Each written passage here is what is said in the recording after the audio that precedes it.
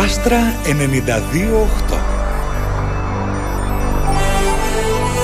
Υπεύθυνο ραδιόφωνο. Με νεανική ψυχή.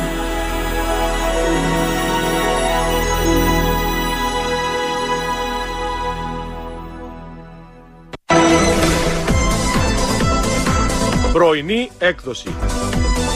Το πρωινό ραδιομαγαζίνο του Άστρα με ειδήσεις, συνεντεύξεις και σχόλια για θέματα της επικαιρότητας. Με την Έλπης Γεωργίου.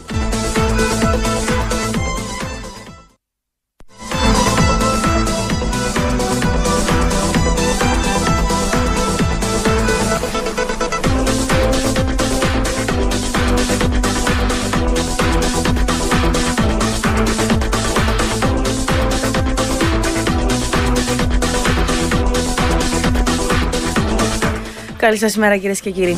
Στο μικρόφωνο η Ελπής Γεωργίου θα είμαστε μαζί μέχρι τις 9. Χθες ε, η επικαιρότητα στράφηκε γύρω από την επίσκεψη του Πρωθυπουργού της Ελλάδας στην Κύπρο, τις επαφές που είχε με τον Πρόεδρο, τα κόμματα, την ομιλία που έκανε χθες στην Ολομέλεια της Βουλής. Και με αυτό το θέμα θα ασχοληθούμε σήμερα στην εκπομπή κυρίες και κύριοι. Σε πολύ λίγο περιμένουμε τον κυβερνητικό εκπρόσωπο. Έτσι πρωτού επικοινωνήσουμε, μάλλον καλύτερα μέχρι να τον έχουμε στην τηλεφωνική μας γραμμή, τον κύριο Χριστοδουλίδη. Να πούμε ότι σήμερα ολοκληρώνει την επίσκεψή του στην Κύπρο, ο κύριος Τσίπρας. Θα επισκεφθεί το πρωί τον τύμβο της Μακεδονίτησα και μετά θα πάει και στο στρατόπεδο της ΕΛΔΙΚ. 12 και 30 θα αναχωρήσει για την Ρώμη. Ε, να ρίξουμε έτσι μια ματιά στους ε, τίτλους των εφημερίδων. Επαναλαμβάνω, είναι το κύριο θέμα στις εφημερίδες σήμερα. Χάραξε γραμμή πλεύσης. Τσίπρας, κόκκινες γραμμές στο Κυπριακό. Γεωπολιτικός ρόλος μάχη κατά κρίσης. Αυτά λέει ο Φιλελεύθερος και μια φωτογραφία με τον πρόεδρο της Δημοκρατίας. Ε, και άλλος υπότιτλος ε, συγκρότηση ομάδας νομικών στο ελληνικό Υπουργείο Εξωτερικών. Έτσι βλέπει ο Φιλελεύθερος την επίσκεψη Τσίπρα. Ο πολίτης μαζί στην Ευρώπη που σταδιακά αλλάζει. Μια φωτογραφία με τον κύριο Αναστασιάδη και τον κύριο Τσίπρα. Μονόδρομος για την Ελλάδα και την Κύπρο. Η συνεννόηση με τους εταίρους. Τσίπρα, σας θέλουμε δίπλα μας. Σκληρή στάση από Βερολίνο. Δύσκολο το σκηνικό για τα ελληνικά αιτήματα. Αποστάσεις κρατούν Ισπανία και Ιταλία. Φαίνεται ότι το Βερολίνο εξακολουθεί να κρατά μια στάση σκληρής αναμονής, αρνούμενο να συζητήσει κούρεμα του ελληνικού χρέους αλλά και διαφοροποίηση της Τρόικας. Αποστάσεις από τα ελληνικά αιτήματα τηρούν και οι κυβερνήσεις της Ισπανίας και της Ιταλίας, ενώ ρόλο ισορροπιστή προσπαθεί να διαδραματίσει ο Γάλλος πρόεδρος Φρανσουά Ολάν. Αυτά γράφει ο πολίτης. Στην εφημερίδα σημερινή Γκρι αποχρώσεις για την οικονομία. Προς τα έξω βγήκε ομοφωνία, λέει η εφημερίδα, και σύμπτωση απόψεων σε όλα τα εθνικά θέματα. Αλλά μέσα στην συνάντηση υπήρξαν διαφωνίες, γράφει η σημερινή. Η πρώτη επίσκεψη του Έλληνα Πρωθυπουργού στην Κύπρο άφησε άριστες εντυπώσεις. Η, ε, η εφημερίδα, με συγχωρείτε, αλήθεια, τα βρήκαν σε όλα. Μπήκαν οι βάσεις στενής συνεργασίας. Αναστασιάδη Τσίπρας χάραξαν κοινή γραμμή πλεύσης για επίλυση του Κυπριακού και στροφή προς την ανάπτυξη της οικονομίας. Και η εφημερίδα Χαραυγή, σας θέλουμε στο πλευρό μας. Ο τίτλος, στο ίδιο μετερίζει Ελλάδα και Κύπρος, ουσιαστική και μεστή μηνυμάτων, η πρώτη επίσκεψη του Πρωθυπουργού Αλέξη Τσίπρα στο νησί. Καλημέρα κύριε Χριστοδουλίδη. Καλημέρα σας. Διάβασα έτσι τους τίτλους των εφημερίδων. Είναι το πρώτο θέμα σε όλες τις εφημερίδες. Εξάλλου, ε, κυριάρχησε, αναμενόμενο. Αναμενόμενο, κυριάρχησε στην επικαιρότητα αυτή η επίσκεψη. Τι κρατάει η Λευκοσία, κύριε εκπρόσωπε; Η, μετά τις συναντήσεις με τον νέο Έλληνα Πρωθυπουργό, υπάρχει καταρχήν απολύτω ικανοποίηση για τα αποτελέσματα των συζητήσεων, των ουσιαστικών συνομιλιών, ουσιαστικών και ανοιχτών συνομιλιών που έγιναν όπως αρμόζει όταν ε, συνομιλούμε με την Ελλάδα καθώς επίσης και την ε, απαρχή αν θέλετε ε, μια, στην αρχή μια νέα σχέση όχι πως αλλάζει από προηγουμένως απλά αυτή τη στιγμή θεωρούμε ότι υπάρχουν τα χέγγια υπάρχουν τα, τα εφόδια για, για μια ακόμη πιο ενισχυμένη συνεργασία σε όλα τα επίπεδα και είμαστε σίγουροι ότι στο σύντομο μέλλον και από πολύ συγκεκριμένες ενέργειες αυτά που ακούστηκαν χθες δημόσια αλλά και αυτά που λέχθηκαν κατά τη διάρκεια των κατηδίαν συνάντησης αλλά και αργότερα σε επίπεδο αντιπροσωπιών θα, θα πραγματοποιηθούν. Ε, η μόνη που διαφοροποιείται λίγο στους τίτλους είναι η εφημερίδα Σημερινή, η οποία έχει τίτλο «Γκρι αποχρώσεις για την οικονομία», ότι προς τα έξω βγήκε ομοφωνία, αλλά πίσω από τις κλειστές πόρτες υπήρξε διαφωνία. Είναι αλήθεια αυτό κύριε εκπρόσωπε; Σε καμία περίπτωση δεν ανταποκρίνεται στην πραγματικότητα. Αντίθετα, αν υπήρχε διαφωνία και παραλαμβάνω έτσι πρέπει να χαρακτηρίζει τις σχέσεις Αθηνών Λευκοσίας, ειδικά σε ένα θέμα όπως την οικονομία, θα γινόταν γνωστό. Αν θέλετε στο θέμα της ε, οικονομίας υπήρχε συναντήληψη ανάμεσα στον πρόεδρο Αναστασιάδη και τον Έλληνο Πρωθυπουργό σε δύο, δύο σημεία. Από τη μια είναι η ανάγκη η Ευρωπαϊκή Ένωση να κινηθεί με πολιτικές που να ανταποκρίνονται στις προσδοκίες των Ευρωπαίων πολιτών και μέσα σε αυτό το πλαίσιο οι πολιτικές ανάπτυξης δεν μπορεί παρά να είναι η προτεραιότητα της Ευρωπαϊκής Ένωσης, ειδικότερα προς τις χώρες του Νότου, ειδικότερα προς τις χώρες που αντιμετωπίζουν προβλήματα. Αυτός ήταν ο ένας κύριος πυλώνας της συζήτησης.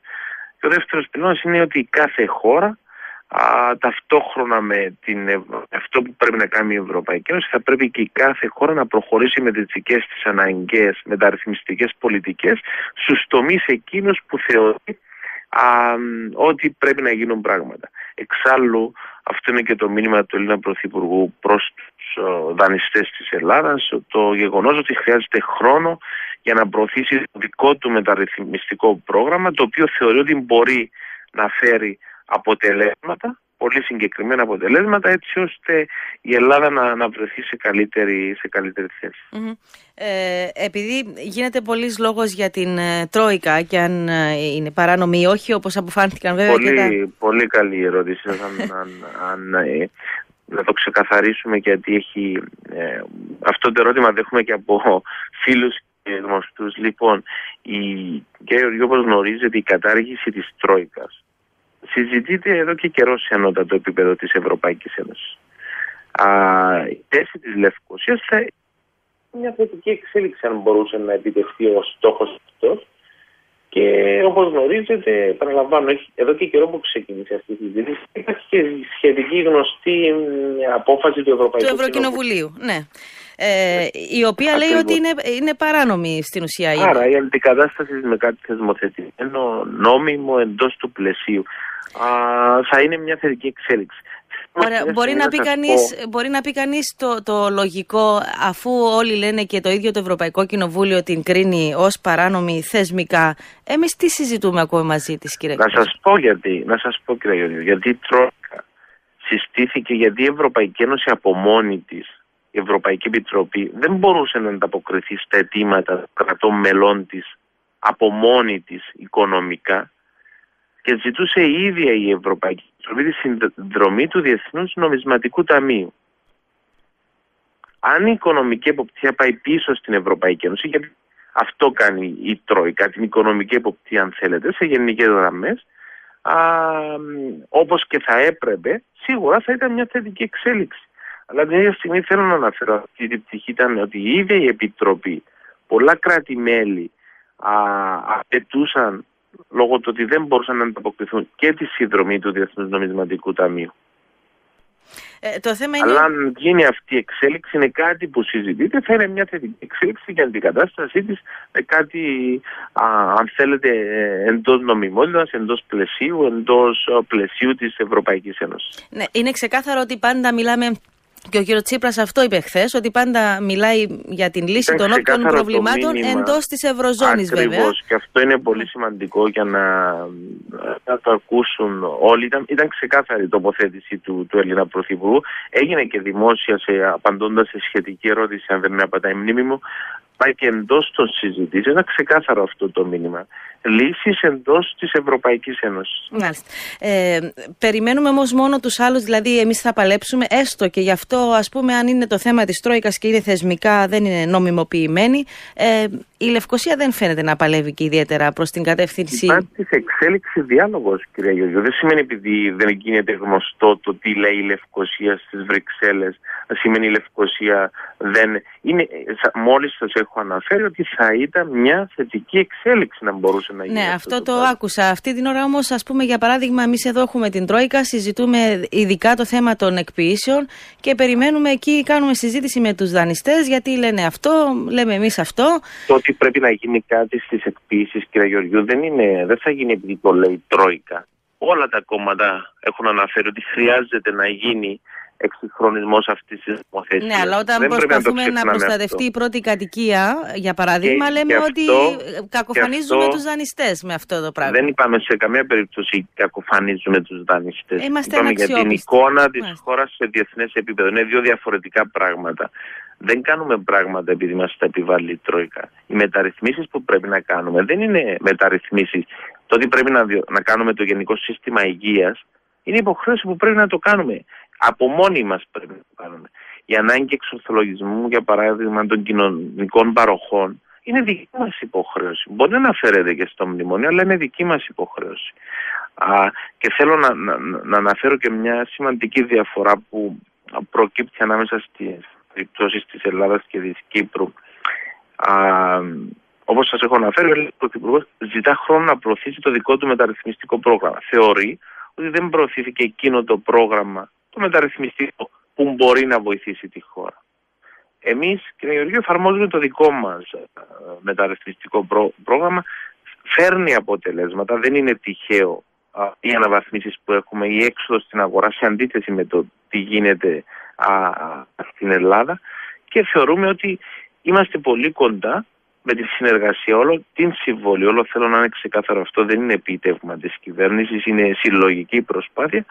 Θεωρούμε ότι μπορούμε α, να, να ξεφύγουμε από το, από το μνημόνιο, από την Τρόικα, από τις υποχρεώσεις αυτές, μέσα από αυτή την ε, συνέπεια που δείξαμε, που επαναλαμβάνω, με τη συνεργασία όλων.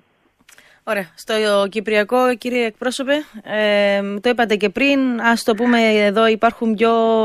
Υπάρχει, γνωρίζετε ότι είναι, ε, υπάρχει, ε, υπάρχει απόλυτη ταυτής απόψε ανάμεσα στον Έλληνα Πρωθυπουργό και τον Πρόεδρο της Δημοκρατίας. Θα μας βοηθήσει με τις τουρκικές προκλήσεις η Αθήνα; Στο βαθμό που είναι δυνατό η Αθήνα να βοηθήσει προς την κατεύθυνση. Αντιλαμβάνεστε η, το μήνυμα και μάλιστα δημόσια ότι οι ελληνοτουρκικές σχέσεις περνούν από το Κυπριακό νομίζω είναι ένα ξεκάθαρο μήνυμα από την Τουρκία.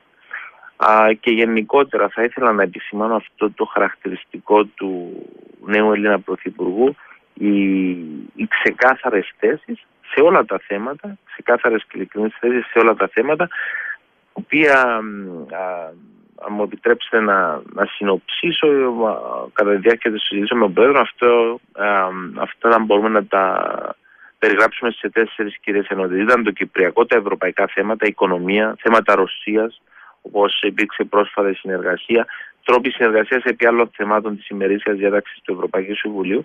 Υπήρξε σύμπνοια όσον αφορά την περιφερειακή συνεργασία, η συνέχιση αυτών των συνεργασιών με τα γειτονικά κράτη, όπως αναπτύχθηκαν πολύ πρόσφατα, και καθώς και επίσης θέματα ενέργειας, ήταν, ήταν ξεκάθαρες οι θέσεις της, ε, της ελληνικής κυβέρνησης. Και αναμένουμε ότι στο σύντομο μέλλον θα πρέπει να δοθεί χρόνος όπως ο Έλληνας Πρωθυπουργός ζητά χρόνο από τους δανειστές της Ελλάδας. Θα πρέπει και εμείς να του δώσουμε το χρόνο. Αντιλαμβάνεστε ότι η προτεραιότητα αυτή τη στιγμή της Ελλάδας είναι η, η, ο στόχος της σε σχέση με την οικονομία. Αν θέλετε να μπει, α, να μπει σε τροχιά, πολύ συγκεκριμένη τροχιά, το πώς προχωρεί σε θέματα οικονομίας και ακολούθως να είστε σίγουροι ότι θα υπάρξουν και πολύ συγκεκριμένες εξελίξεις στους άλλους τομείς που σας ανέφερα. Ευχαριστώ πολύ. Καλή συνέχεια, κύριε εκπρόσωπε. καλημέρα. Καλά, να είστε καλά. Καλημέρα, καλημέρα. Μας ακούει από το δίκο η εκπρόσωπος τύπου η Χριστιανά Ρατοκρίτου. Καλημέρα, κύριε Ρατοκρίτου. Καλημέρα σας, καλημέρα και στους ακροατές σας. Το δίκο τι κράτησε από τη χθεσινή μέρα; Το Δημοκρατικό Κόμμα εκφράζει την ικανοποίηση του και ε, για τις θέσεις τις οποίες ε, και την πολιτική που εξέφρασε ο Πρωθυπουργός της Ελλάδας, ε, ο κύριος Αλέξης Τσίπρας, για όλα τα θέματα, όσο αφορά και τα θέματα της οικονομίας, όσο αφορά και τα θέματα του Κυπριακού. Ξεκινώντας από το Κυπριακό, χαιρετίζουμε την δήλωση του Πρωθυπουργού ότι το Κυπριακό, οι ελληνοτουρκικές με σχέσεις περνούν μέσα από το Κυπριακό, δηλαδή δεν μπορεί να υπάρξει πρόοδος η ανάπτυξη των ελληνοτουρκικών σχέσεων ε, χωρίς ε, την ε, δίκαιη και βιώσιμη λύση του Κυπριακού. Χαιρετίζουμε επίσης το γεγονός ότι ο Πρωθυπουργός της Ελλάδας ακριβώς αυτό χαρακτήρισε και χρησιμοποίησε τις λέξεις δίκαιη και βιώσιμη λύση. Και δίκαιη και βιώσιμη λύση δεν μπορεί να είναι αυτή η οποία θα εδράζεται πάνω στα ψηφίσματα του Συμβουλίου Ασφαλείας, στις αποφάσεις κορυφής και με τους κανόνες του διεθνούς δικαίου. Ε, επίσης είναι πολύ ευχάριστο το γεγονός ότι ο Πρωθυπουργός της Ελλάδας ζήτησε την απόσυρση του Μπαρπαρός από την αποκλειστική οικονομική ζώνη της Κύπρου και έψεξε την επιθετικότητα α, της Τουρκίας με την εισβολή της, με την νέα εισβολή στην ΑΟΣ της Κύπρου. Ε, τώρα, όσο αφορά τα θέματα, επίσης με συγχωρείτε, θα ήθελα να επισημάνω και κάτι. Ήταν πολύ ενδιαφέρουσα και πολύ ορθή η τοποθέτηση του κυρίου Τσίπρα όσο αφορά την ε, Ελλάδα και την Κύπρο και την γεωγραφική τους θέση, ε, καθώς ε, σε συνδυασμό με την ευρωπαϊκή τους ιδιότητα. Ανέφερε ο Πρωθυπουργός ότι χωρίς την Ελλάδα και την Κύπρο η Ευρώπη θα είναι ακροτηριασμένη στο νοτιοανατολικό της άκρο. Αυτό έχει πολλαπλές ερμηνείες, συνδέει και την οικονομία και την γεωπολιτική και την εξωτερική πολιτική και πιστεύουμε ότι είναι μια πολύ ορθή η διασύνδεση, πολύ αντικειμενική και βασίζεται και πάνω σε, πάνω σε γεγονότα. Ε, κανείς δεν μπορεί να αμφισβητήσει ακριβώς και αυτό πρέπει να το αναδείξουμε και εμείς σε συνεργασία με την Ελλάδα ότι ακριβώς επειδή εμείς βρισκόμαστε σε μια ασταθή περιοχή γεωπολιτικά η οποία μπορεί να απειλήσει την ασφάλεια της Ευρωπαϊκής Ένωσης έχει περισσότερους λόγους η Ευρωπαϊκή Ένωση να στηρίξει τις δύο χώρες αυτές, την Κύπρο και την Ελλάδα όπως πολύ σωστά είπε ο κύριος Τσίπρας, αποτελούν πυλώνες ασφάλειας και για την ευρύτερη περιοχή αλλά και για την ίδια την Ευρωπαϊκή Ένωση. Όσο αφορά την οικονομία, η δική μας διαπίστωση είναι ότι ο Πρωθυπουργός της Ελλάδας με μια μεθοδικότητα την οποία ίσως κάποιοι δεν ανέμεναν, όμως φαίνεται ότι με μια μεθοδικότητα αλλά και με την αναζήτηση της συνένεσης ε, με τους Ευρωπαίους εταίρους αναζητεί διεξόδους για την Ελλάδα όσο αφορά την οικονομία. Και είναι πολύ σημαντικό ότι τόσο στα εθνικά θέματα όσο και στα θέματα οικονομίας χρησιμοποιούσε συνεχώς την φράση διεκδίκηση με ασφάλεια. Θέλει δηλαδή, είναι προφανές ότι επιδιώκει να βελτιώσει την οικονομική κατάσταση της Ελλάδας, να καταστήσει το χρέος της βιώσιμο, αλλά και να συνδέσει τουλάχιστον από ό,τι φαίνεται, την αποπληρωμή του χρέους με την ανάπτυξη του ακαθάριστου εθνικού προϊόντος, δηλαδή να ανταλλάξει το χρέος με την αύξηση του εθνικού ακαθάριστου προϊόντος, έτσι ώστε προϋπόθεση για την αποπληρωμή να είναι και η αύξηση του ΑΕΠ και ε, βεβαίως για να υπάρξει θέματα ανάπτυξης. Ναι. Υπάρχει, πρέπει να υπάρχει ανάπτυξη. Ακριβώς αυτό ε, ζητούμε και εμείς ε, εδώ και ένα τουλάχιστον χρόνο Ζητούμε να διεκδικήσουμε για τον τόπο μας, να διεκδικήσουμε ακριβώς με ασφάλεια, με συνένεση, όχι με συγκρουσιακή διάθεση, αλλά ακριβώς στο χτίσιμο συμμαχιών, στην ενημέρωση των Ευρωπαίων εταίρων, αλλά και άλλων ενδιαφερομένων και για την Κύπρο και για την Ελλάδα. Συζητούμε όμως, κυρία Ρωτοκρίτου, και χθες ήταν. Ε, συζητούμε το θέμα της Τρόικας, ε, που φαίνεται ότι, όχι φαίνεται, έχει αποφανθεί και το Ευρωπαϊκό Κοινοβούλιο ότι δεν είναι νομιμοποιημένο και θεσμοθετημένο σώμα. Αλλά εμείς την ίδια ώρα η Τρόικα είναι εδώ, συζητούμε μαζί της. Έχουμε θέματα πολύ σημαντικά, είναι και οι εκπίσεις και όχι μόνο. Φτάσαμε σε αυτό το σημείο ενώ συζητούσαμε τόσο καιρό. Ε, και ακόμη μέχρι και χθες, την ώρα που ήταν εδώ ο κύριος Τσίπρας και ο κύριος Αναστασιάδη, του έλεγε ότι συμφωνώ μαζί σου ότι πρέπει να οποιαδήποτε θεσμική αλλαγή θα είναι προς το καλύτερο. Το είπε πριν και ο κύριος Χριστοδουλίδης αυτό και ότι ε, θα το χαιρετήσουν αν υπάρξει κάτι άλλο και δεν είναι Τρόικα και είναι κάτι άλλο. Αλλά, εν πάση περιπτώσει, η Τρόικα είναι εδώ και εμείς συζητούμε μαζί της. Ε, ναι, κυρία... θεωρώ. Έχετε δίκιο όμως. Ε, η αλλαγή δεν πρόκειται να γίνει μέσα σε λίγο 24 ώρα και δεν πρόκειται να γίνει από τη μία μέρα στην άλλη. Ακριβώς η εκλογή, θεωρούμε, του Αλέξη Τσίπρα στην uh, Πρωθυπουργία της Ελλάδας. Πρόκειται ε, και από ό,τι φαίνεται έχει ήδη, ήδη αναταράξει κάποιους κύκλους στην Ευρωπαϊκή Ένωση γιατί μπορεί ε, να είναι η απαρχή μιας πολύ μεγαλύτερης διεκδίκησης και μιας πολύ μεγαλύτερης αντίδρασης ε, όχι μόνο στην Ελλάδα αλλά και σε άλλες χώρες με ενδεχομένως μεγαλύτερους πληθυσμούς, ενδεχομένως και πολύ μεγαλύτερα οικονομικά θέματα.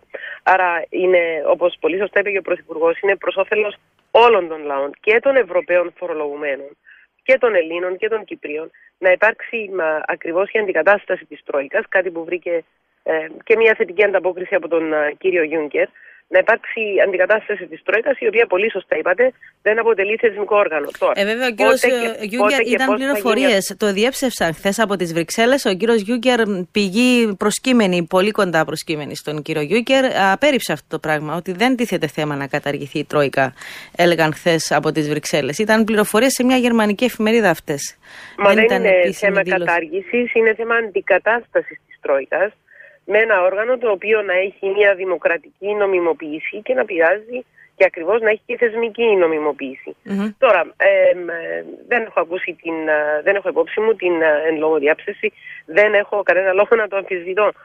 Πλην όμως εξαρτάται από ποιον γίνεται ε, και το, τον βαθμό που έχει, αν θέλετε, στην ιεραρχία ε, της Ένωσης. Απλώς, κυρία Ρετοκρήτα, επειδή τώρα και εμείς που συζητούμε και είμαστε σε μνημόνιο, όπως και εμείς και όπως και άλλες χώρες ε, που συζητούμε με την Τρόικα, τίθενται κάτω σημαντικά ζητήματα τα οποία θα, θα είναι εδώ, θα μας μείνουν για μια ζωή, δεν θα αλλάξει. Α, αλλάζει όλη η κοινωνία, αλλάζει ο τρόπος που ζούμε, αλλάζουν ε, κάποια πολύ σημαντικά δεδομένα.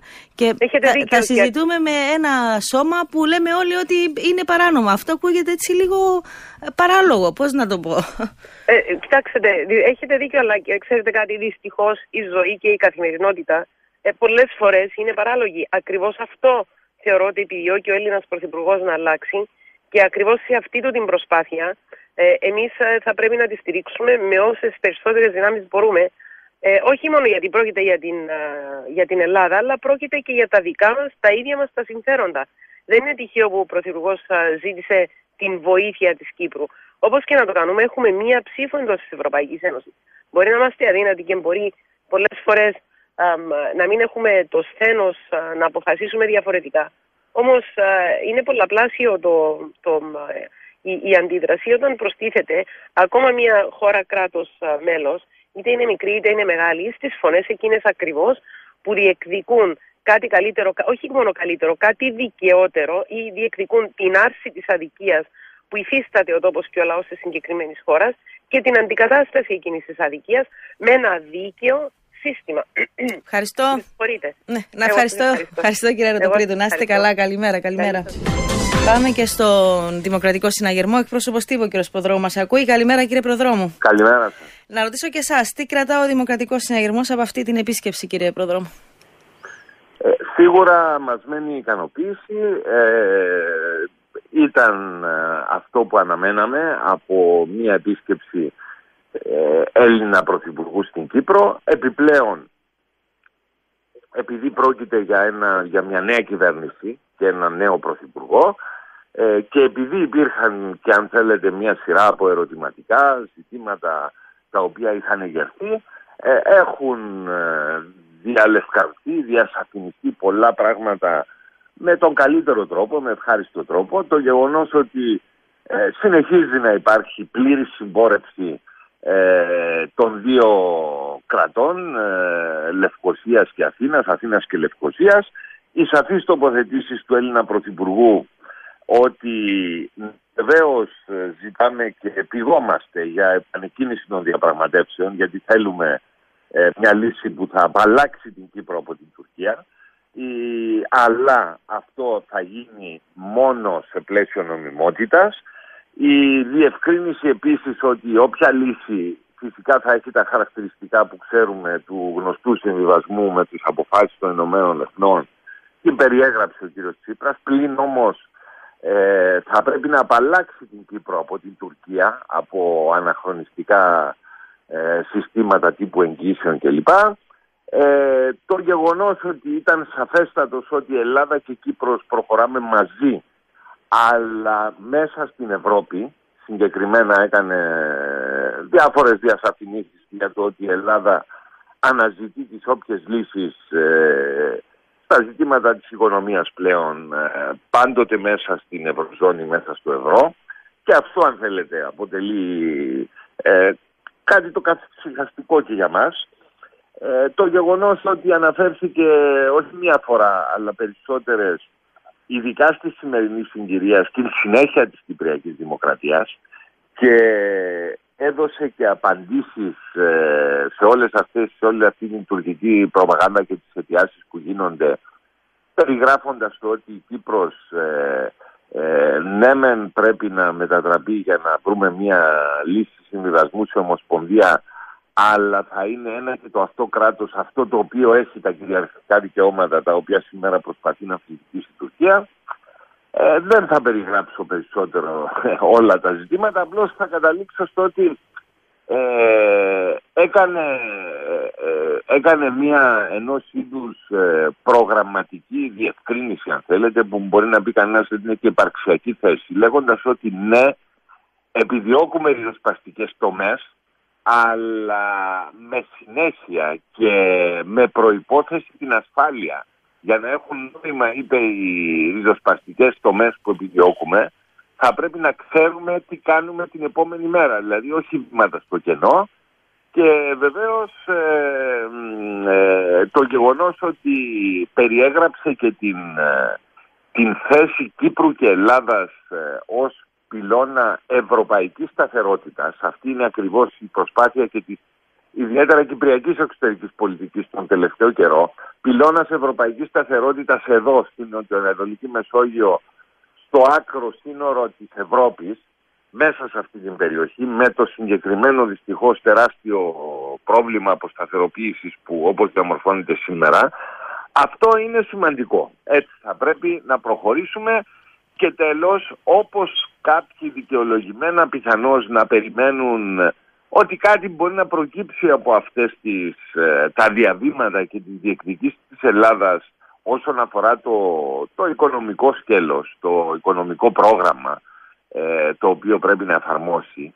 Ε, και εκεί ε, ενδεχομένως κάποιοι περιμένουν να υπάρξουν ευεργετικά αποτελέσματα, τα όποια ευεργετικά αποτελέσματα και για την Κύπρο, όπως και για άλλες ίσως χώρες, με τον ίδιο τρόπο υπάρχει μια αμοιβαιότητα. Ο κύριος Τσίπρας ε, χρησιμοποίησε το ζευγάρι Κύπρος-Ελλάδα ε, για να μιλήσει για την ε, αξία που έχει αυτό το πράγμα, αυτή η σταθερή, ο σταθερός ευρωπαϊκός βραχίωνας εδώ στην περιοχή.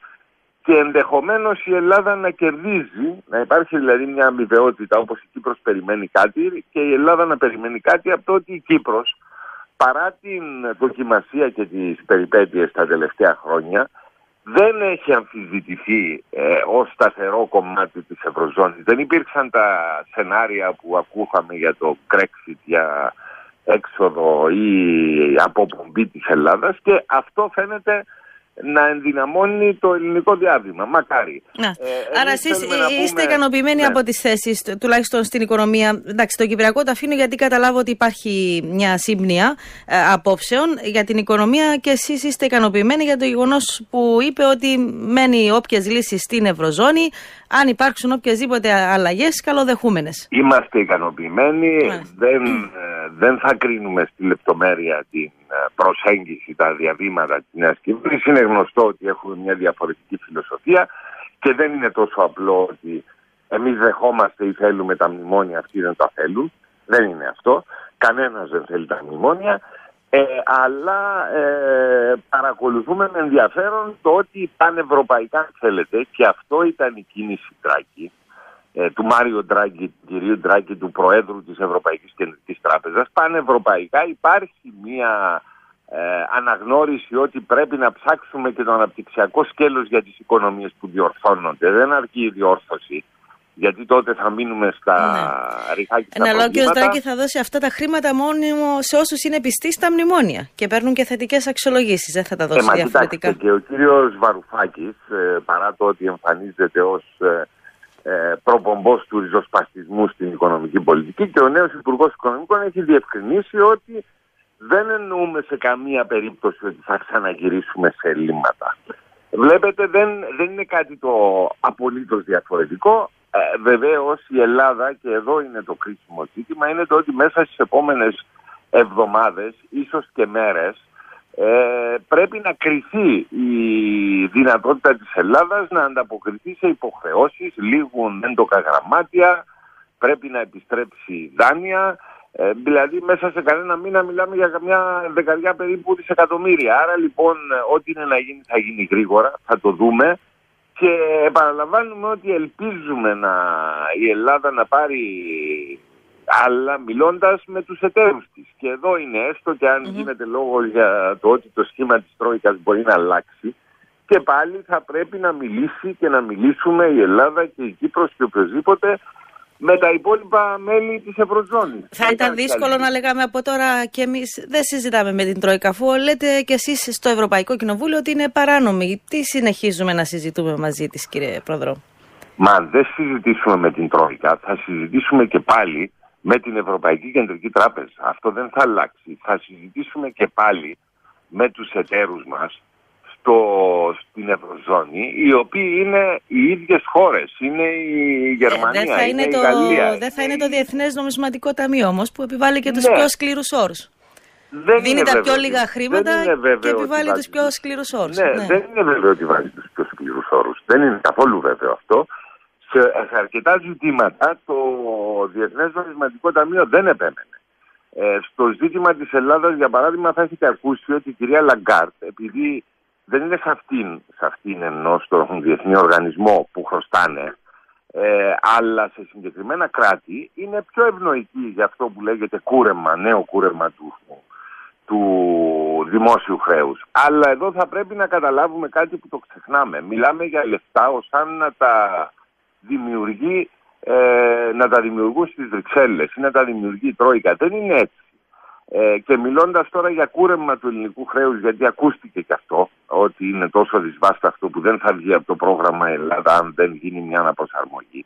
Να θυμηθούμε ότι από το πρώτο κούρεμα του ελληνικού χρέους το 2012 ήταν που ξεκίνησε και οφείλεται σε ένα μεγάλο βαθμό ε, το ότι έχει εκεί προσγεί εκτός τροχιάς. Δηλαδή τότε οι αποφάσεις εκείνες είχαν πολύ συγκεκριμένες συνέπειες. Ε, στο τέλος ε, φάνηκε ότι είχαν συνέπειες ε, κυπριακά συμφέροντα για παράδειγμα. Άρα λοιπόν ό,τι γίνει ε, γίνεται από κοινού και τα, αν θέλετε δεν θα μιλάμε με την Τρόικα αλλά θα πρέπει να μιλήσουμε με κράτη εταίρους μας τα οποία περνούν από τα κοινοβούλια τους τις αποφάσεις για να δανείσουν χρήματα. Άρα τα πράγματα είναι δύσκολα. Εμείς θα δούμε με ενδιαφέρον και λέμε ευχόμαστε η Ελλάδα να καταφέρει να πετύχει, η νέα κυβέρνηση να καταφέρει να πετύχει το καλύτερο, όμως ε, ε, πρέπει να μείνουμε προσγειωμένοι. Ε, ναι, να αναζητήσουμε και αυτό που η Κύπρος εμείς πιστεύουμε ότι πρέπει να αναζητήσει, γιατί το περίφημο πρόγραμμα, όχι πρόγραμμα, αλλαγή πολιτικής της, ε, του κυρίου Ντράγκη, είναι σε 19 μήνες για 1,1 τρισεκατομμύριο πανευρωπαϊκά. Δηλαδή μιλάμε για σοβαρά πράγματα. Να φροντίσει και να καταφέρει η Κύπρος όσο μπορούμε να μπούμε μέσα σε αυτό το πράγμα που ξεκινάει από τον Μάρτιο Μπορεί λοιπόν να μην έχουμε την θηλιά στο λαιμό όπως τον έχει η Ελλάδα που πρέπει να αποπληρώσει, να εξυπηρετήσει κάπου 10 δισεκατομμύρια μέχρι τέλος Μαρτίου. Εμείς, ε, ο Υπουργός Οικονομικών μας έχει πει ότι υπάρχουν ανάγκες αναχρηματοδότησης χρέους της Κύπρου, να πληρώσουμε δάνεια που τελειώνουν. Ε, προς, το, προς τα μέσα του χρόνου 2,9 δις, δεν είναι λίγο για την Κύπρο αλλά δεν έχουμε την στενή, αν θέλετε, τη στενότητα του τέλους του μήνα αυτού. Όμως, επιγόμεθα ε, για το τέλος του μήνα αυτού, αν θέλετε, ε, το φέρνει η τύχη, γιατί από τον Μάρτιο ξεκινάει αυτό το πρόγραμμα. Γι' αυτό λέμε ότι αντί να παλεύουμε με ένα και δύο δικά μας νομοσχέδια εδώ, θα πρέπει να δούμε πώς διασφαλίζουμε για την κυπριακή οικονομία ε, μια χαραμάδα τέτοια ανάπτυξης για να δημιουργηθούν αυτό το πολυπόθητο, να τρέξει η οικονομία, να γυρίσει θέσεις εργασίας κλπ. ευχαριστώ κύριε Προδρόμου, να είστε καλά. Ελπίζω να βρούμε την άκρη και λέμε καλή τύχη στην Ελλάδα, αφού διαπιστώσαμε ότι η Κύπρος και η Ελλάδα πάμε μαζί. Μας ευχαριστώ κύριε Προδρόμου, να είστε καλά. να είστε καλά. Ε, τώρα ο κύριος Προδρόμου προφανώς εννοούσε ότι παλεύουμε για τα ένα-δυο νομοσχέδια. Προφανώς για αυτά για τις εκπίσει εννοούσε. Ε, δεν ξέρω αν δεν το θεωρούν πολύ σημαντικό. Εν πάση περιπτώσει, να καλημερίσουμε και τον εκπρόσωπο τύπου του ΑΚΕΛ, τον κύριο Γιώργο Λουκαίδη. Καλημέρα, κύριε Λουκαίδη. Καλή σας μέρα, κύριε Γεωργίου. Καλημέρα στους ακράτες του. Να ξεκαθαρίσουμε και επίσης ότι για το θέμα της Ελλάδας και για κούρεμα, νομίζω πλέον δεν συζητείται θέμα κούρεμα του χρέους και ο ίδιος Υπουργός Οικονομικών της Ελλάδας είπε ότι ο στόχος είναι να συνδεθεί πλέον η δόση της χώρας με το ΑΕΠ. Γι' αυτό και ζητούν ανάπτυξη. Αλλά, εν πάση περιπτώσει, θα τα πάρουμε από την αρχή. Ε, τι κράτησε το ΑΚΕΛ από την επίσκεψη Τσίπρα, κύριε Λουκαίδη ε, πέραν από τους συμβολισμούς, τους οποίους αναφέρθηκε και ο ίδιος ο Τσίπρας, ο γύρω Έλληνας Πρωθυπουργός στην χθεσινή παρέμβαση του στην ε, Ολομέλεια της Βουλής, που είναι σημαντική και οι συμβολισμοί, ε, θεωρούμε ότι η επίσκεψη ήταν ουσιαστική και ήταν ε, γεμάτη με μηνύματα. Ε, μηνύματα τόσο σε ό,τι αφορά το, με το Κυπριακό, αλλά και σε ό,τι αφορά ε, τα ζητήματα της οικονομίας, του ρόλου της Κύπρου και της Ελλάδας στην περιοχή μας.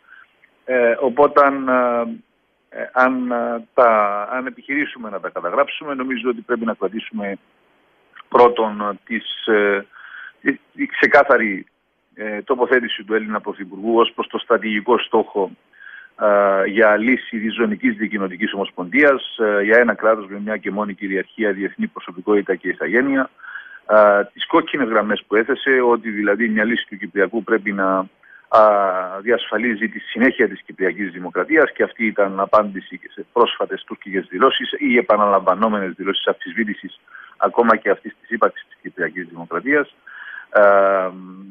Οι τοποθετήσεις που έχουν γίνει για την ανάγκη ε, ανοιχτών διάβολων διαλόγου με την Τουρκία μεν, αλλά την ίδια ώρα το ξεκάθαρο μήνυμα ότι η εξέλιξη και η πορεία των ελληνοτουρκικών σχέσεων που επιδιώκονται ε, θα περνά μέσα από τις εξελίξεις και τα δεδομένα στο Κυπριακό. Ε, το γεγονός ότι η πρωτοβουλία των κινήσεων παραμένει ε, στη Λευκοσία σε ό,τι αφορά το Κυπριακό αλλά θα επιδιωχθεί η μέγιστη δυνατή συνεργασία και αυτά είναι θετικά στοιχεία. Ε, στο βαθμό πάντα που η πρωτοβουλία των κινήσεων που βρίσκεται στην Κύπρο εξελίσσεται στην ωστή κατεύθυνση και εδώ έχουμε την κριτική μας άποψη. Ε, νομίζω ότι δεν είναι η ώρα να επαναλάβουμε τις γνωστές θέσεις που έχουμε πει πάρα πολλές φορές όσα και ελκυρία.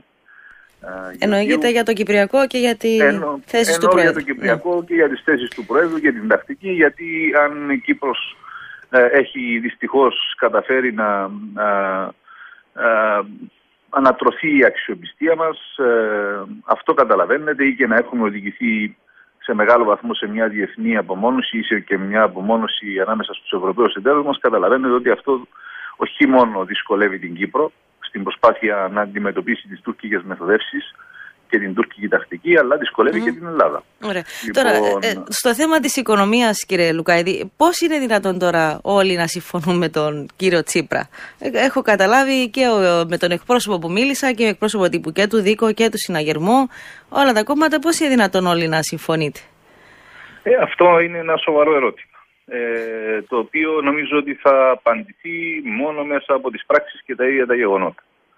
Ε, γιατί την ίδια ώρα που ο πρόεδρος της Δημοκρατίας ε, συμφωνούσε μαζί με τον ε, κύριο Τσίπρα στη συνέντευξη που έδωσαν μετά τη συνάντηση και σε σχέση με την ανάγκη κατάργησης της Τρόικας αλλά αντιλαμβάνομαι και στα ζητήματα που θέτει η Ελλάδα για αλλαγή ρότας σε ό,τι αφορά τις πολιτικές σκληρής λιτότητας που επιβάλλει η Ευρωπαϊκή Ένωση, που επιβάλλονται κυρίως μέσα από τα μνημόνια ο Υπουργός των Οικονομικών δήλωνε την ίδια ώρα δηλαδή ότι οι πολιτικές ε, που εφαρμόζονται σε σχέση με το μνημόνιο αποδίδουν και πρέπει να συνεχιστούν. Λοιπόν, εδώ στην Κύπρο και επειδή άκουγα και προηγουμένως τον κύριο Προδρόμου, ε, έχουμε μια κυβέρνηση που δυστυχώς μέχρι τούτη την ώρα λέει ότι και να μην ήταν εδώ η Τρόικα και να μην είχαμε μνημόνιο, ε, τις πολιτικές που ε, συμπεριλαμβάνονται στο μνημόνιο έπρεπε να τις συνοποιήσουμε από μόνοι μας. Έπρεπε να ήταν το μανιφέστο μας. έχουμε μια κυβέρνηση η οποία όχι απλώς ακολουθεί μια προσέγγιση τυφλής υποταγής στις προσταγές της Τρόικας, αλλά ξεπερνά σε αρκετές περιπτώσεις και την ίδια την Τρόικα. Ε, την ώρα που η ελληνική κυβέρνηση έχει ένα σχέδιο ώστε ακριβώς ε, διατηρώντας, όπως υπόθηκε και προηγουμένως, ε, πρωτογενή πλεονάσματα, ε, το μεγαλύτερο μέρος από αυτά να μπορεί να τα επενδύει για σκοπούς ανάπτυξης, η δική μας η κυβέρνηση, θέλω να θυμίσω, και στον προϋπολογισμό του 2014 και στον προϋπολογισμό του 2015 επιδίωξε και έχει συμπεριλάβει πρόσθετες περικοπές εκατοντάδων εκατομμυρίων πέραν από αυτά που έχει απαιτήσει η Τρόικ, πλήττοντας με κέριο τρόπο την ανάπτυξη. Ε, είναι γνωστά αυτά. Ακούμε τον Υπουργό Υγείας πρόσφατα να λέει ότι τα νοσοκομεία έχουν φτάσει στα όρια τους, λέγοντας αυτό που λέμε και εμείς εδώ και πολύ καιρό. Λοιπόν, αλλά την ίδια ώρα η κυβέρνηση έχει περικόψει πέραν των 50 εκατομμυρίων στους προπολογισμούς και του 2014 και του 2015 σε σχέση με τον τομέα της υγείας. Την ώρα που είναι γνωστό ότι ε, δέχεται τεράστια πίεση ο δημόσιος τομέας της υγείας λόγω της οικονομικής κρίσης. Λοιπόν, την ίδια ώρα που γίνονται αυτά, είχαμε κινητοποιήσεις, θέλω να σας θυμίσω, για νέες περικοπές στο φοιτητικό πακέτο και στη φοιτητική μέρημνα. Αυτά είναι τα πρόσφατα που σας λέω. Τα πολύ πρόσφατα που καταδεικνύουν μια συγκεκριμένη νοοτροπία, φιλοσοφία, όχι απλώς υποταγής στη λογική της λιτότητας, αλλά με πολιτικές και μέτρα που ξεπερνούν ακόμα και αυτές τις απαιτήσεις της Τρόικας. Και... Τώρα, πώς η κυβέρνηση mm. κατάφερε να συμφωνήσει μαζί με τον κύριο ε, Τσίπρα και στους στόχους που θέτει και φαίνεται να αποδέχεται και την έκκληση του κύριου Τσίπρα όπως η Κύπρος σταθεί στο πλευρό της Ελλάδας στην προσπάθεια να δώσει αυτή τη μάχη ενάντια στις πολιτικές της λιτότητας ε, θα απαντηθεί νομίζω ε, ε, στην πράξη και στην πορεία. Κρατάμε να αντιλαμβάνεστε μικρό καλαθί σε ό,τι αφορά mm. τις δεσμεύσεις ε, που φαίνεται να έχουν αναλυθεί από πλευράς ε, κυβέρνησης. Συζητούμε για το παράνομο της Τρόικας και η Τρόικα είναι εδώ τώρα και συζητά αυτή μαζί μας. Γι' αυτό το. Ξέρετε, το παράνομο της Τρόικας είναι το ένα σημαντικό. Να υπάρχει δημοκρατική νομιμοποίηση των όποιων οργάνων ε, υλοποιούν ε, ή ασκούν ελέγχους. Ε, αλλά ξέρετε, δεν είναι και η ουσία, για να είμαστε σωστοί. Η ουσία είναι η αλλαγή πολιτικών, κυρία Γεωργίου. Αυτό είναι το ζητούμενο. Ε, Αυτό είναι το πολύ πιο σημαντικό, αν θέλετε. Ναι. Εντάξει, ε, και χθες όμως ο Υπουργός δηλαδή, Οικονομικών και σήμερα. Ο, και χθες ο... η Ευρωπαϊκή, να το ξεκαθαρίσω, αν θα επιβλέπει η Ευρωπαϊκή Επιτροπή και η Ευρωπαϊκή Κεντρική Τράπεζα τα ίδια σκληρά προγράμματα λιτότητας που έχουν οδηγήσει στην ανθρωπιστική κρίση που αντιμετωπίζει η Ελλάδα, που έχουν οδηγήσει στη φτωχοποίηση του ελληνικού λαού ή έχουν οδηγήσει στη φτωχοποίηση του κυπριακού λαού, mm-hmm. που έχουν οδηγήσει σε αυτά τα φαινόμενα που βιώνουμε και εμείς μέσα από τη σκληρή δοκιμασία και που ο κυπριακός λαός επίσης διέρχεται. Η ουσία είναι να αλλάξουν πολιτικές. Λοιπόν, εμείς σε αυτό στεκόμαστε. Φαίνεται από πλευράς ελληνικής κυβέρνησης και μετεκλογικά υπάρχει η διάθεση ε, να δοθεί η μάχη, να υπάρξει διεκδίκηση ώστε να α, αλλάξουν οι κυρίαρχες πολιτικές των Βρυξελών και ελπίζουμε ότι σε αυτή την προσπάθεια η ελληνική κυβέρνηση θα πετύχει και ελπίζουμε πολύ περισσότερο ότι θα βρει στηρίγματα και από την Κυπριακή κυβέρνηση και δεν θα συνεχίσουμε να πούμε στην Κύπρο ότι το μνημόνιο έπρεπε να το εφαρμόζαμε ακόμα Μάλιστα. και αν δεν ήταν εδώ η Τρόικα. Ναι. Εντάξει, αυτό το είπε και χθες ο Υπουργός Οικονομικών ότι δεν, ε, η κυβέρνηση λέει δεν εφαρμόζει τις μεταρρυθμίσεις για να ικανοποιήσει την Τρόικα, αλλά να λύσει χρόνια προβλήματα. Το είπε και πριν ο, ο κυβερνητικός εκπρόσωπος. Άρα το ζητούμε είναι να, να πείσουμε την Ευρωπαϊκή Ένωση να αλλάξει τις πολιτικές της, λέτε κύριε Αυτό είναι το ζητούμενο, Μάλιστα. δεδομένου ότι οι πολιτικές έχουν προκαλέσει και προκαλούν ένα τεράστιο κοινωνικό κόστος, αλλά πέραν του κοινωνικού κόστους αποτυχάνει και στους αριθμούς. Δεν ευημερούν ούτε και οι αριθμοί. Στην περίπτωση ναι. της Ελλάδας για την οποία γίνεται λόγος, και σας άκουγα που συζητούσατε προηγουμένως με τον κύριο Προδρόμου, η Ελλάδα είχε ένα χρέος κοντά στο 115% το πήραν στο 180%, έγινε το κούρεμα, επανήλθε πίσω σε εκείνο το επίπεδο και ξαναπήγε στο 175% κυρία Γεωργή. Μέσα από τις πολιτικές που εφαρμόζονται από πλευράς Τρόικας, ναι. μέσα από τις μνημονιακές πολιτικές σκληρής λιτότητας, απορρίθμισης, ε, που επιβάλλονται ιδιωτικοποιήσεων και ούτω καθεξής. Είναι εύκολο όμως λοιπόν. να αλλάξουν αυτές οι πολιτικές όταν διακυβεύονται τόσα μεγάλα συμφέροντα, κύριε Λουκαίδη. Δεν είναι εύκολο. Και προφανώς όλες αυτές οι πολιτικές, πολύ σωστά το θέτετε, έχουν συγκεκριμένους στόχους. Οι οποίες πολιτικές έχουν και συγκεκριμένο αποτέλεσμα. Μια τεράστια αναδιανομή του πλούτου. Από τα φτωχότερα στρώματα, από τους εργαζόμενους, από τη μεσαία εισοδηματική τάξη, από τις μικρές επιχειρήσεις, λέω επίσης, προς το μεγάλο ιδιωτικό κεφάλαιο. Α, αυτό συνέβαινε και στην Κύπρο. Είναι γνωστό. Μιλάμε για 500 εκατομμύρια τα οποία άλλαξαν χέρια. Τα οποία έφυγαν από αυτές τις ε, κατηγορίες του πληθυσμού, από τις ευάλωτες ομάδες, από τους εργαζόμενους, από τη μεσαία τάξη και έχουν πάει σε σε συγκεκριμένα ιδιωτικά συμφέροντα, μεγάλα ιδιωτικά συμφέροντα. Και αυτό έχει, έχει συμβεί τα τελευταία χρόνια στην Κύπρο. Ε, οπότε δύσκολο είναι να αλλάξουν οι πολιτικές. Αλλά το ερώτημα είναι, ε, θέλουμε να αλλάξουν αυτές οι πολιτικές. Το ΑΚΕΛ θα συνεχίσει να παλεύει για να αλλάξουν αυτές οι πολιτικές. Δεν πρόκειται να αποδεχτεί αυτή την πραγματικότητα η οποία έχει οδηγήσει και τον Κυπριακό λαό σε αυτή την πολύ δύσκολη, θα έλεγα, τραγική κατάσταση. Ευχαριστώ πάρα πολύ. Να είστε καλά. Καλημέρα. Ευχαριστώ. Καλημέρα.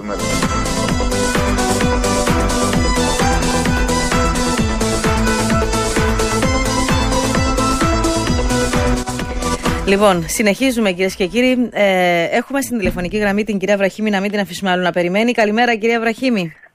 Πολύ καλημέρα. Μιλούσα μαζί την Παρασκευή για την επιστολή που στείλατε στο Γενικό Εισαγγελέα. Έγινε όλη αυτή η συζήτηση με τους δικηγόρους του γραφείου του κ. Αναστασιάδη που πήγαν με άλλα νόματα κτλ. Με την υπόθεση Ράια Νέα Κυπριακή Αγραμμέ. Ο κόσμος τα ξέρει. Χθες αποφάνθηκε ο Γενικός Εισαγγελέας και λογικά πρέπει να σας έχει στείλει και επιστολή ότι δεν προκύπτουν, λέει, ποινικά αδικήματα. Θα πάνε στο πειθαρχικό πέντε δικηγόροι. Είστε ικανοποιημένοι; Εγώ το ανέμενα βεβαίως αυτό όταν με ρωτούσαν ποιο πιστεύω ότι θα είναι το αποτέλεσμα. Η απάντηση μου ήταν συγκάλυψη. Εν πάση περιπτώσει, ο Γενικός Εισαγγελέα. Πάτε συγκάλυψη, είναι σοβαρό αυτό. Συγκάλυψη. Ναι, ναι. Ο Γενικός Εισαγγελέας εμένα δεν μου έστειλε επιστολή. Ούτε την τυπική επιστολή ότι είχε λάβει το παράπονο, ε, την καταγγελία, εν πάση περιπτώσει, και ούτε μου έστειλε και επιστολή αιτιολογημένη για την απόφαση μου. Αυτό ακόμα το αναμένω και αυτό είναι κάτι το οποίο θα ζητήσω σήμερα. Γιατί τα ερωτήματα ήταν πολύ συγκεκριμένα. Έχουμε στα χέρια μας την έκθεση του Γενικού Ελεκτή, η οποία λέει αυτά όλα για τα οποία έχουμε συζητήσει. Εγώ θα θέλω να μου αιτιολογήσει και να μου πει είναι λαθασμένη, είναι λαθασμένα τα γεγονότα εκείνα τα οποία ε, έχει γράψει στην έκθεση του Γενικός Δικαστής και αν είναι λαθασμένα με ποια μαρτυρία την οποία ο ίδιος είπε ε, δεν συνάδουν προς την πραγματικότητα. Νομίζω ότι ο κόσμος τα βλέπει, τα ακούει, αειδιάζει μπορώ να πω. Είναι καιρός πλέον να σοβαρευτούμε και να δούμε τα πράγματα από την πραγματική τους σκοπιά. Εδώ ο κόσμος πεινά, εδώ ο κόσμος δεν έχει δουλειές. Είναι δυνατόν να συμβαίνουν αυτά και να έχουμε ένα γενικό εισαγγελέα ο οποίος έτσι ελαφριά την καρδία μας λέει ότι δεν έχει βρει τίποτα. Για όνομα του Θεού.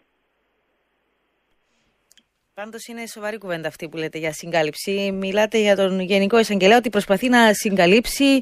Ε, στο τέλος, αγγίζει και τον ίδιο τον. Δεν ξέρω, αγγίζει εγώ, και τον ίδιο τον πρόεδρο. Εγώ δεν μπορώ να σκεφτώ τίποτε άλλο παρά αυτό το οποίο είπα. Θα του στείλετε επιστολή σήμερα του κ. Κλειδί. Βεβαίως θα του στείλω επιστολή. Και τι θα του λέτε; Τυπικά, τυπικά έπρεπε να μου είχε στείλει την τυπική επιστολή ότι παρέλαβε το παράπονο. Και δεύτερον, την άλλη επιστολή είναι ότι επερίφθη, αλλά η απόρριψη για μένα δεν είναι αρκετή. Είμαι δικηγόρος. Δεν είμαι οποιοδήποτε. Με πολύ πείρα και στην πολιτική και στην ε, δικηγορία. Δεν είναι αρκετό για μένα να μου πει ότι έκανε έρευνα και δεν ε, βρήκε τίποτε απολύτως. Εγώ θέλω μια αιτιολογημένη απόφαση για να πιστώ. Δηλαδή θα πρέπει να μου πει ε, κατά πόσον η έκθεση στο Γενικό Λογιστή ήταν λαθασμένη και σε ποια σημεία ήταν λαθασμένη και γιατί ήταν λαθασμένη. Γιατί ο Γενικό ε, Ελεκτή είχε κάνει, ο Γενικό Ελεκτή είχε κάνει και γύρω στη δική του την έρευνα και έβγαλε ορισμένα συμπεράσματα.